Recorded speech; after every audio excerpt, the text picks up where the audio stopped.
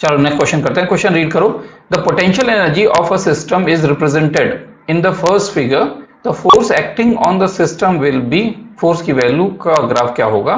देखो potential energy है ये वाई एक्सिस पे और एक्स एक्सिस पे जो है डिस्प्लेसमेंट है। पोजीशन में चेंजेस आ रहे हैं। ठीक है? यहाँ पर एक एक्स की वैल्यू ए के बराबर है इस पॉइंट पे। और ये स्लोप है तो फोर्स और पोटेंशियल एनर्जी के बीच में क्या रिलेशन होता है? Physical to minus D U by D X होता है। और D U by D X की बात करें अगर तो ये एक स्लोप है और ये स्लोप इसका स्लोप कैसा है? कांस्टेंट है स्ट्रेट लाइन है। कर्व होता तो यू की वैल्यू वेरी करती है एक्स के रिस्पेक्ट में। और ये वेरिएशन जो होता है कांस्टेंट नहीं होता। लेकिन क्योंकि ये स्लोप है तो ये स्लोप की जो वैल्यू है वो एक कांस्टेंट वैल्यू होगी। ठीक है? ये वैल्यू एक कांस्टेंट स्ट्रेट लाइन है तो कांस्टेंट हो गई। अगर ये एक आ, कैसा होता? कर्व होता ऐसे या ऐसे ग्राफ होता तो u की वैल्यू x के रिस्पेक्ट में वेरी तो कर रही है लेकिन वेरिएशन जो होगा वो कांस्टेंट नहीं होगा फिक्स नहीं होगा। उस केस में अगर कर्व होता तो। तो यानी ये वैल्यू कांस्टेंट है। तो D U by D X value अगर कांस्टेंट हो गई तो यानी एफ़ कांस्टेंट हो गया निगेटिव में वैल्यू होगी लेकिन कांस्टेंट होगी निगेटिव में। पहली बात।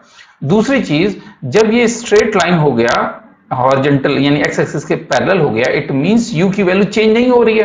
एक्स बदल रहा है, लेकिन यू चेंज नहीं हो रहा। इट मींस डी यू की वैल्यू हो गई ज़ीरो यानी D U by D X की वैल्यू भी हो जाएगी ज़ीरो तो अगर D U by D X की वैल्यू ज़ीरो हो गई तो फोर्स की वैल्यू भी ज़ीरो हो जाएगी।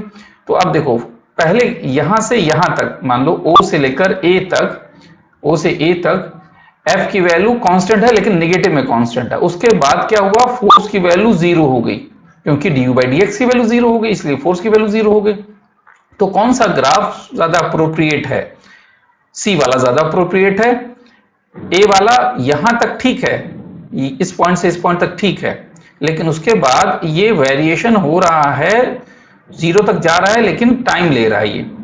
ठीक है? ज़्यादा डिस्टेंस जबकि यहाँ पर क्या हुआ? तुरंत चेंज हो गया ज़ीरो में। D by D X zero हो गया, जबकि यहाँ पर धीरे धीरे ज़ीरो की तरफ़ चेंज हुआ है। यहाँ पर क्या हुआ? सी में। यहाँ से यहाँ तक कांस्टेंट है निगेटिव में एफ़ की वैल्यू निगेटिव में कांस्टेंट है, यहाँ से यहाँ तक।